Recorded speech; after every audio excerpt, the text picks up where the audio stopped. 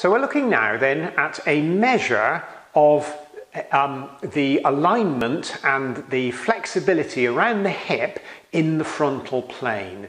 So as we stand on two feet, our weight is equally distributed between foot to foot.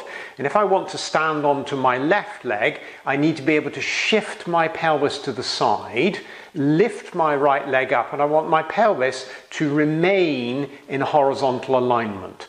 And that comes about through action of our hip abductor muscles. But when we're abducting the hip, we really want our deep gluteal muscles to be working, so our gluteus medius and gluteus minimus. But if they're not working well, then the tensor fasciae lata can often take over, and that would lead to overactivity of that muscle and potential tightening along the iliotibial band. So this is a measure of the subject's ability to passively adduct their hip so that the foot moves to midline. And the limiting factor to that, other than osteological factors, would be the iliotibial band. Now, of course, the iliotibial band is fixed to the femur, but it has superficial and deeper portions. So it's the superficial portion which should be able to slide. And when we have uh, a change in tone of the hip musculature, sometimes we find that this, the adduction movement is limited. So this is a, a, a test which is relevant to single leg standing, but it's also relevant to ITB friction syndrome as we mentioned in the lecture. So we're starting off with our subject lying on our couch. So if you could just um, turn over to your side to face the camera. So I've got her head supported. Because you're on your side, you're a little bit uh, uh, un, um, unstable, so I'm going to bend that underneath knee. So to start with, I want the pelvis stacked, so I want the greater trochanter on top, um, directly over the greater trochanter underneath. My hand goes onto the rim of the iliac crest. So make sure that you don't put your hand over the greater trochanter because that will prevent the hip movement. So my hand is resting on the pelvis.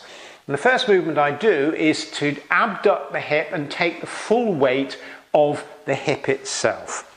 So I'm then going to press down onto the pelvis. So I'm stabilizing the pelvis, allowing the weight of the leg to come down in the body plane. So I'm avoiding going into flexion. So I'm in line with the body, stabilize the hip, and allow the leg to gently adduct.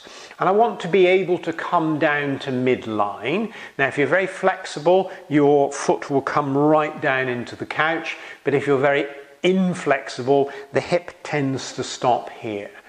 And then once, once you've got that information um, and you're in that fully stretched position, you can then turn that into a clinical test of ITB friction syndrome. So you could be palpating over the greater trochanter or palpating over the femoral epicondyle if that is an area of pain. So in this position, once I've got that stretch and I've determined that this is end range, I can then palpate and flick the iliotibial band over the epicondyle or flick the iliotibial band across the, um, the uh, trochanteric bursa.